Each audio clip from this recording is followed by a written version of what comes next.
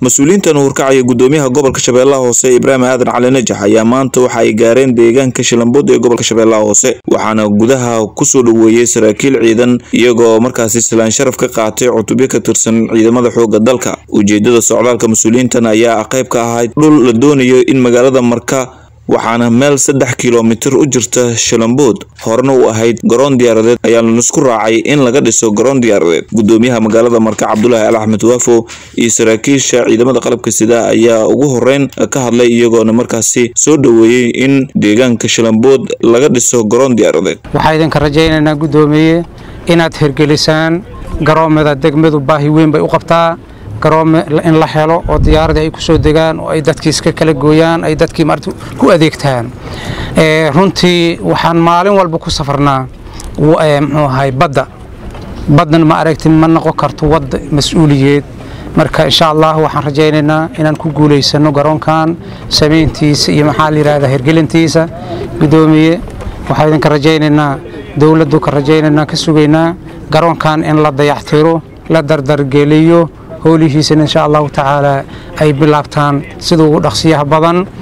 Waxaa sharaf weyn noo ah in maanta si nabadgelyo ah lagu soo booqday garoonkii aadna indhihiinna ku aragtiin gudoomiye aad ku aragtiin iyo wasiirka arrimaha gudaha gudoomiyaha degmada.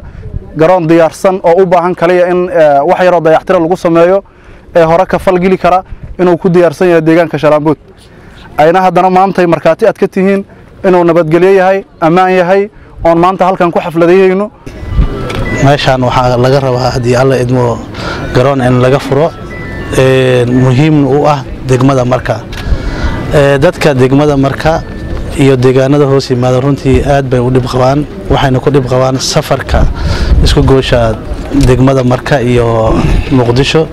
Runtii cid walba oo gacan ka geysan karto waxaan ka codsan lahaa inay ka geysato. Gudoomiyaha gobolka shabeellaha hoose ibraahim aadan cali najax ayaa ballanqaaday in sida ugu dhaqsiyaha badan looga dhisi doono garoonkan isagoo ugu baaqay saraakiisha ciidamada qalabka sida in iyo kuwa amisom in ay u istaagaan sugidda ammaanka garoonka.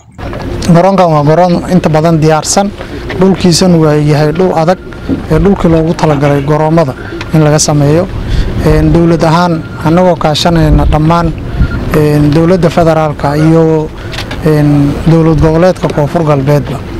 Iyo hay'adaha caalamiga ee caawiya soomaaliya ka caawiya horumarka si gaara kuwa koonfur galbeed. Waxaan ka shaqaynaynaa garoonkan in dib u dhis lagu sameeyo. Mar dhowna laga bilaabo haddii alla idmo. Saxankan hadda wuxuu ahaa inaan aragno bal garoonka meeshaan ku yaalla ee hore maadaama uu dalka naga burburay. Wax walbo aan lahayn ay burbureen.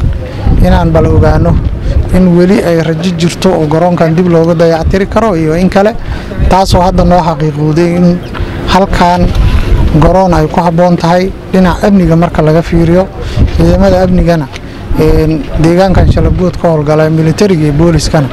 Waxaan rabaa inaan uga mahad celiyo amniga ay sugayaan iyo ballanqaadka hadda ay sameeyeen oo ah in meeshaan haddii garoonkii dib loo dayactiro ay diyaar u yihiin amniga inay sugaan habeenii maalin waana tan ay u taagan yihiin mar walba